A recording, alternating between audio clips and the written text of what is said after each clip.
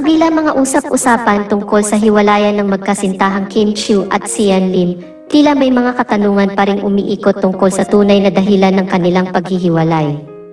Kamakailan, nag-post si Kim Chiu sa kanyang social media account ng isang makabuluhang mensahe na nag-iwan ng ilang tanong sa mga isipan ng mga netizens. Ang mensaheng ito ay naglalaman ng salitang, You only have one life to live. Make sure it's yours. Maaaring ang mensaheng ito ni Kim Chiu ay isang pagpapahayag ng kanyang sariling pananaw at pangarap.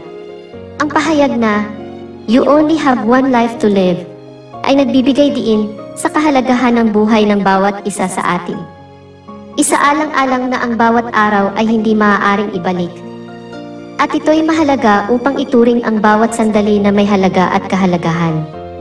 Maaaring nais ni Kim Chiu na iparating na ang buhay ay maikli, kaya't mahalaga na piliin natin ang landas na nagpapahayag ng ating sariling kasiyahan at pag-unlad, bagaman hindi tiyak kung may kaugnayan ang mensaheng ito sa kanilang diumanoy hiwalayan, maaaring may kinalaman ito sa personal na proseso at paglalakbay ni Kim Chiu sa kanyang buhay pag-ibig. Ipinapakita nito na siya ay nagpapakatotoo at naghahanap ng kanyang sariling kasiyahan at pag-usbong.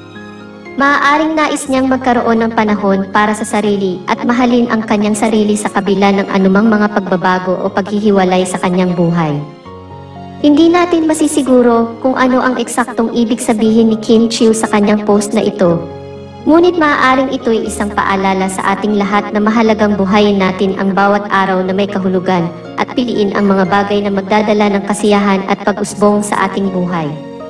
Ang pahayag na ito ay nagpapakita ng pagiging positibo at determinasyon na maging masaya at makabuluhan sa kabila ng mga pagbabago at hamon sa buhay.